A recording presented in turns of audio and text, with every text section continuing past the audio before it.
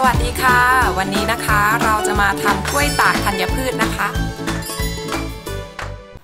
มาดูส่วนผสมกันเลยนะคะ มีกล้วยน้ำว้า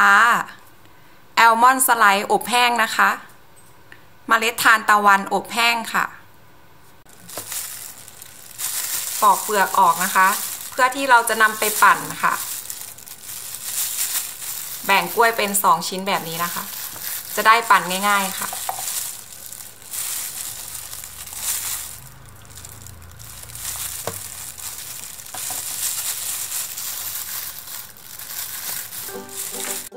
ใส่กล้วยที่เราหั่นเป็นชิ้นแล้วนะคะ ลงไปในโถปั่นค่ะ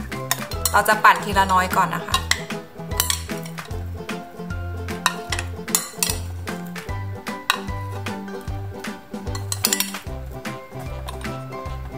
มาปั่นกันเลยนะคะ ปั่นจนกล้วยละเอียดนะคะเทกล้วยที่เราปั่นเสร็จแล้วใส่ลงไปในชามค่ะ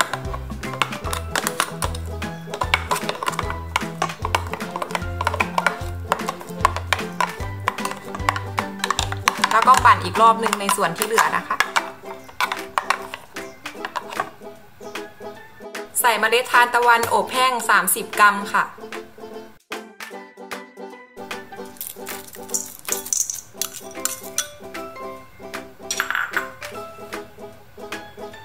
ใส่อัลมอนด์สไลด์อบแห้ง 30 กรัมค่ะ เราเหลือไว้นิดหน่อยนะคะ ไปตกแต่งข้างหน้าค่ะคลุกเคล้าส่วนผสมทั้งหมดให้เข้ากันนะคะ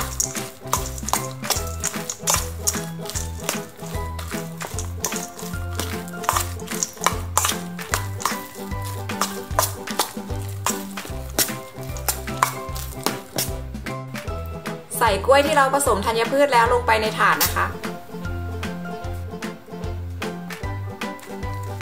เกลี่ยให้ทั่วถาดนะคะทำบางๆนะคะ เพื่อที่เรานำไปตากจะได้แห้งเร็วๆค่ะ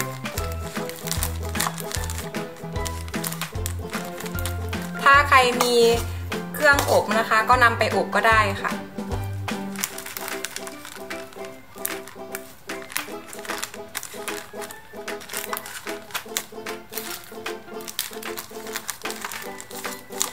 ล้วยที่เราจะนำไปตากเสร็จแล้วนะคะ เกลี่ยให้เป็นแผ่นบางๆแบบนี้ค่ะ โรยหน้าด้วยอัลมอนด์สไลด์ที่เราเหลือไว้เล็กน้อยนะคะนำไปตากแดด 3-5 วันค่ะ ระยะเวลาในการตากแดดขึ้นอยู่กับแดดด้วยนะคะ ว่าร้อนจัดหรือเปล่าค่ะ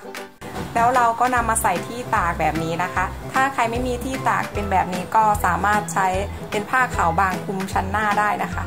ตากแดดเสร็จแล้วนะคะ แล้วก็นำมาหั่นชิ้นแบ่งครึ่งแบบนี้ค่ะใค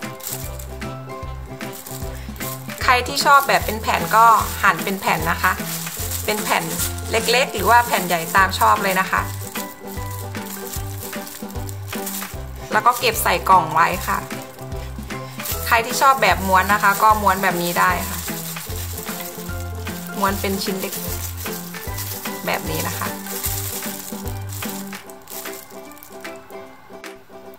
กล้วยตากธัญพืชเสร็จแล้วค่ะ ฝากกด subscribe กดไลค์กดแชร์และกดกระดิ่งข้างบนด้วยนะคะ ขอบคุณเพื่อนๆทุกคนที่ติดตามค่ะ